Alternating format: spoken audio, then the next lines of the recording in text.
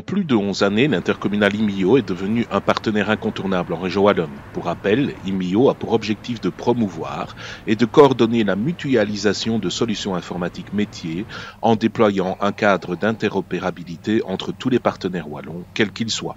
IMIO, c'est aujourd'hui 47 collaborateurs, 387 pouvoirs locaux membres, dont 240 communes, et plus de 1100 applications gérées au quotidien. En ce début d'année, le mouvement communal a rencontré Frédéric Razik, directeur général, et Joël Lambilotte, directeur général adjoint. Pour eux, aujourd'hui, le message est clair. IMIO doit rappeler ses fondements. En matière d'e-gouvernement, il est ainsi de plus en plus indispensable d'adopter une stratégie cohérente et coordonnée concernant les données en Wallonie tandis que les villes et communales doivent se réapproprier urgemment les projets.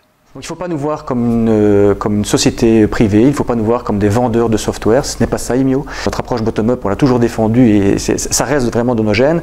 Donc l'objectif, c'est vraiment de créer avec les gens du terrain des solutions qui vont répondre à leurs besoins euh, et, puis après de travailler ensemble sur la, mise en œuvre de ces solutions.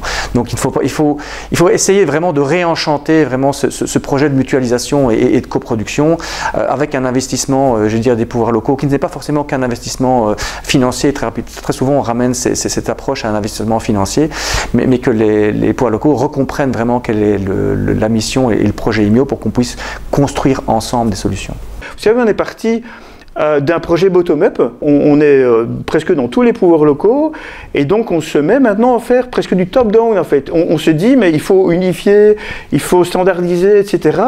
Et ça, les pouvoirs locaux doivent de nouveau intervenir dans la boucle pour exprimer vraiment leurs desiderata en, en la matière et pour l'avenir il va falloir, je pense, tous ensemble travailler euh, à, mettre ensemble toutes les forces dans la même direction. Et donc là, j'en appelle aussi à la région Wallonne. Il y a beaucoup de choses qui sont faites, il faut le reconnaître, il y a beaucoup de choses qui sont faites déjà par la, région.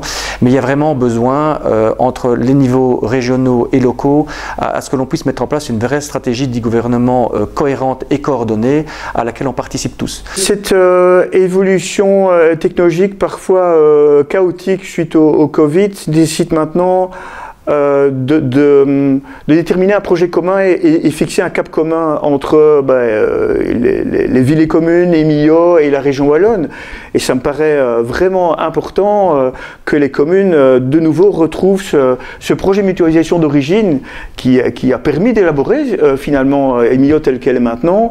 Grandir c'est bien, mais à un moment donné parfois on peut s'y perdre et je pense qu'il faut, qu'il faut revenir aux valeurs d'origine et repartir quelque part à zéro, effectivement pour voir clair dans l'émission d'Imio.